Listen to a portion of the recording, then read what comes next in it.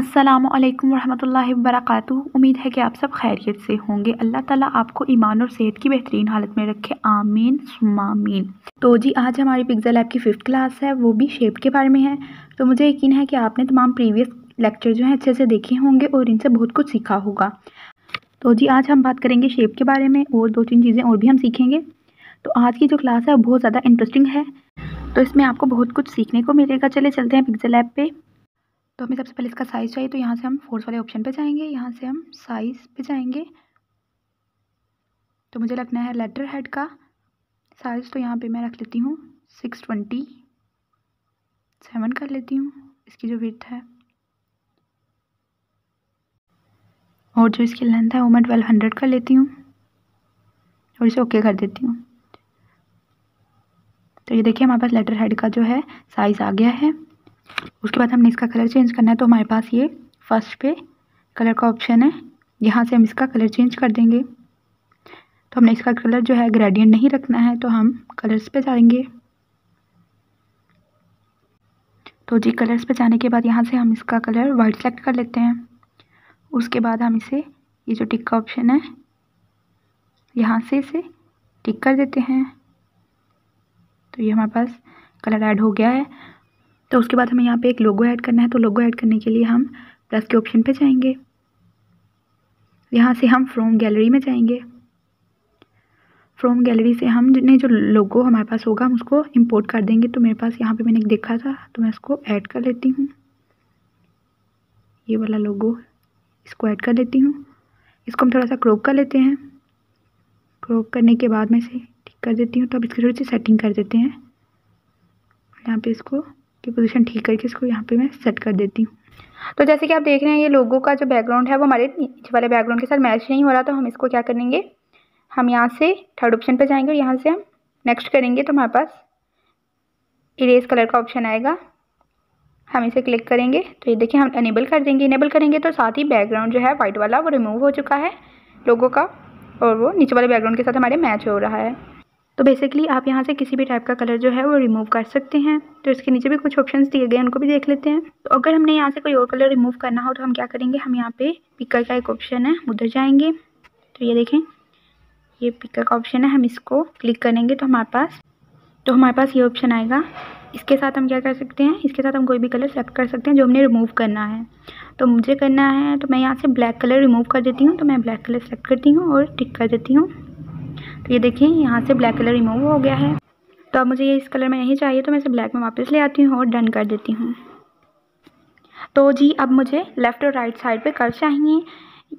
तो मैं यहाँ पे शेप पे जाऊँगी प्लस के ऑप्शन से तो शेप सेलेक्ट कर लूँगी। तो जी ये मैंने शेप सेलेक्ट कर ली है। अब मैं इसको इसकी थोड़ी सी ना सेटिंग कर देती हूँ ताकि जी तो उसके बाद इसे डन कर दूँगी। तो अब यहाँ पे मुझे कर्व चाहिए तो उसके लिए मैं हम्म, यहाँ से ऑप्शन सेलेक्ट कर लेती हूँ। मास्क का तो ये रहा जी मास्क का ऑप्शन यहाँ से हम मास्क लगाएँगे। तो जब हम इसे क्लिक करेंगे तो मेरे पास और कुछ ऑप्शन आएँगे।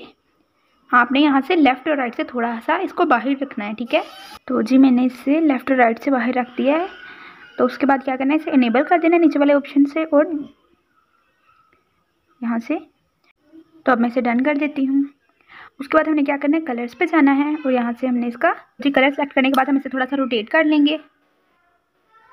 रोटेट करके हम इसको यहाँ पे सेट कर लेंगे। यहाँ पे हम थोड़ा सा एडजस्ट करेंगे इसको तो यहाँ से आप लोग दोबारा क्या कर सकते हैं? जो मास्क है हम इसका सेट कर सकते हैं यहाँ से।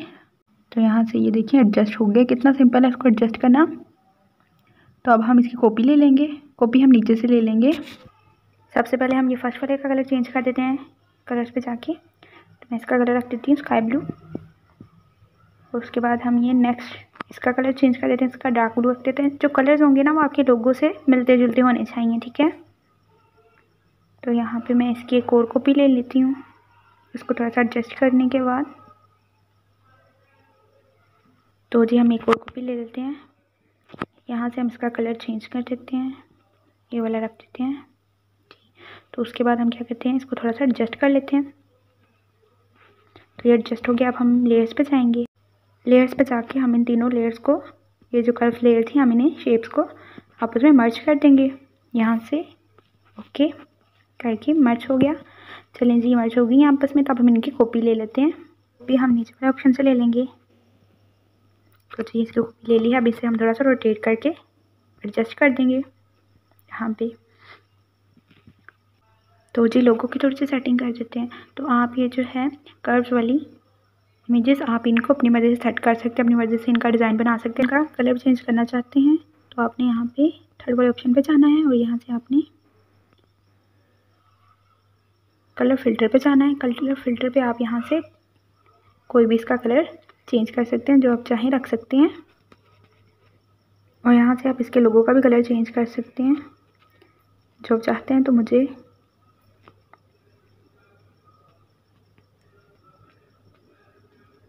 ये ऐसे अच्छा लग रहा है तो मैं इसको यहाँ पे डन कर देती हूँ। मैं इसे अपने प्रोजेक्ट में सेव कर दूँ लेटर हेड के नाम से। और इसको अपनी गैलरी में भी सेव कर लेती हूँ।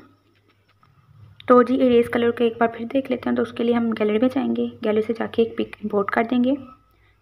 कैनवस पे। चलें जी इसकी थोड़ी सेटिंग कर देते हैं। ठीक हो गया। एडजस्ट हो गया, उसके बाद हम ग्रीन गैलरी में जाएँगे और यहाँ से एक और पिक इंपोर्ट कर देंगे। तो मैंने ये वाली पिक इंपोर्ट करनी है तो मैं इससे डन कर देती हूँ। तो उसके बाद हम जाएँगे रेड वाला जो ऑप्शन है, उधर जाएँगे और वहाँ से हम इरेज कलर पे जाएँगे। यहाँ से हम इसे क्लिक करेंगे तो हमारा जो बैकग्राउंड था, वो खत्म हो गया। उसके बाद हम इसको, इसका टॉलरेंस बढ़ा देंगे। तो ये देखें, यहाँ पर मैं इसको एडजस्ट कर देती हूँ। तो अब हम कलर फ़िल्टर पे जाएँगे। कलर फ़िल्टर पे जाने के बाद हम यहाँ से इसका कलर सेट कर देंगे। आप अपनी मर्ज़ी से कुछ भी रख सकते हैं। मैं यहाँ से।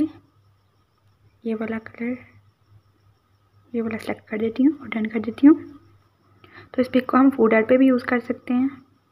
वैसे मैंने आपको सिंपल बताया, ठीक है, कि आप इस तरह रेज हो सकता है कलर तो उसके बाद हम क्या करते हैं, उसके बाद हम एक और पिक देख लेते हैं, जिसमें हम कलर फ़िल्टर को यूज़ करेंगे।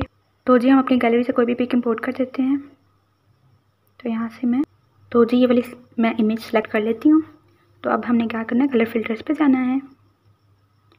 यहाँ पे जाने के बाद हम इसका ह्यू सेट कर लेते हैं। फिर सेचुरेशन को सेट कर लेते हैं थोड़ा सा और इसकी ब्राइटनेस भी देख लेते हैं। ब्राइटनेस तो यहाँ पे कलर सेट कर लेते हैं। तो ये देखें, मेरी जो है पिक रेडी हो चुकी है। तो अब मैं आपको इस इमेज की जो पहले वाली शक्ल है, वो भी दिखा देती हूँ कि पहले वो किस तरह की थी। तो ये देखें, पहले वो कैसी थी और अब अब ये एच में हो गई है और देखें कितनी प्यारी लग रही है, कितनी अट्रैक्टिव लग रही है। तो आप इस तरह डिफरेंट जो पिक्स हैं, उनको कलर दे के अट्रैक्टिव बना सकते हैं। तो मैं इसे सेव कर लेती हूँ। तो आपने भी इस तरह का थोड़ा सा वर्क करके मुझे दिखाना है, ठीक है? मुझे यकीन है कि आपको कलर फ़िल्टर और फेस कलर के बारे में अच्छे से समझ आ गई होगी।